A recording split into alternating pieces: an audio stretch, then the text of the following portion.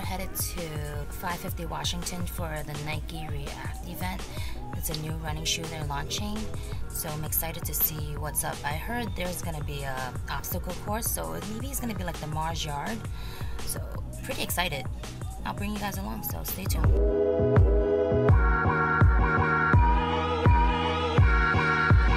I'm pulling up to 550 Washington. See, I see a check-in table. Check in. Hi. Checking in. Nike React. I'm wearing these today.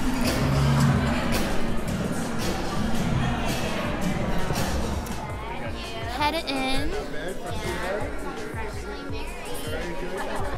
See what Nike has in store for us.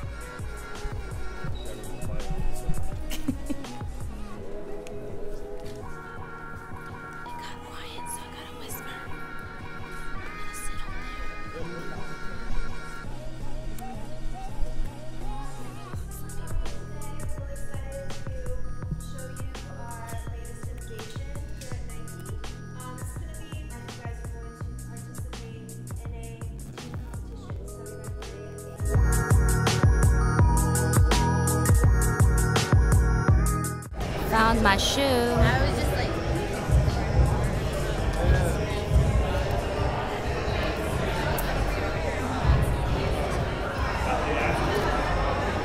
Do you like the white pair better or the pair I have? Headed into the changing room now. Ah! And I dropped my shoe. Thank you. Lucky I didn't drop my camera, right? Okay, all right, I'll be right back. Look at this. They have names on the lockers too. Let me open this. Look at this. So cute. But I saw a girl with a pink one. I'm a boy, I guess.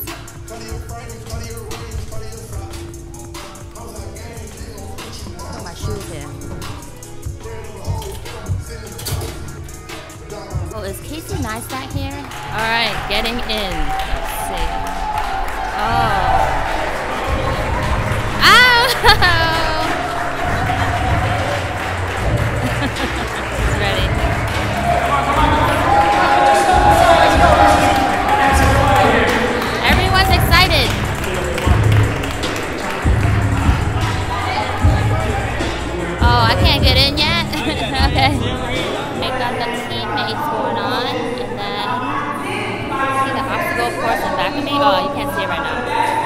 I'll show you guys.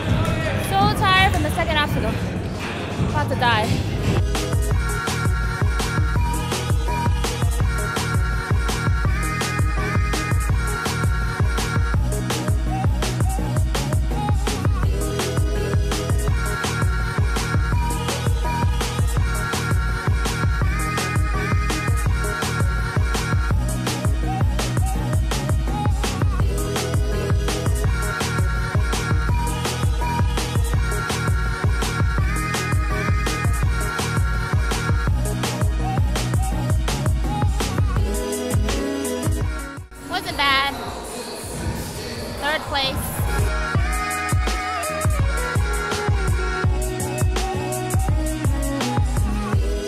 Just finished the Nike React obstacle course and it was crazy. There's still feathers feathers on my head. I can't even talk correctly. It's so hard. Well, for a girl that doesn't work out, it's mad hard. Uh, even like I spoke to Jock and he works out and he said it was like pretty hard too.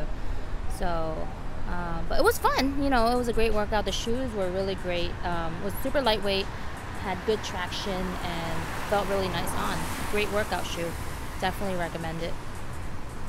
So I just got back from the Nike Epic React event and I'm so tired and look like a hot mess. But I want to quickly film this and show you guys um, what I got at the event and what I thought about the shoe and some facts about the shoes. So let's unbag this. Of course, got the shoe. I thought it was black at first. It's actually navy blue. Put this here first. This bag I actually really like. Um, so in the video you saw that I got a blue one, but this guy traded with me because he wanted the blue one and I wanted the pink one. So that's that. Nike running gear, a tank top, sports bra, nice detailing in the back. Leggings, I love these. Feel so good and there's a mesh panel so you can just wear them out after you work out. And a really cool hoodie. So I want to give some shine on the shoes. It's a really comfortable running shoe and the Nike Epic React Flyknit is the first shoe that features proprietary foam. I want to show you guys as a one-piece Nike Flyknit bootie that takes cues from the Nike Flyknit Racer. Really comfortable and flexible and breathable. So the Nike React foam is a lot softer than the EVA based foams. So this very squeezable and cushiony, bounceable. And also, if you were looking for these shoes, they also come in white. I'm sure a lot more colorways later on. And they actually said that this part um, was inspired by the Nike Vapor Max, which is really cool too. And they said it's a more slim fit for the woman. I want to show you guys the back. Over here shows you, it says Flyknit, Nike, very subtle, and also Epic React Hair. And if you guys are looking to buy the shoe, is going to be available February 22nd. I'm sure a lot of colorways. Um, right now, I'm only seeing these navy blue and white pair. So stay tuned.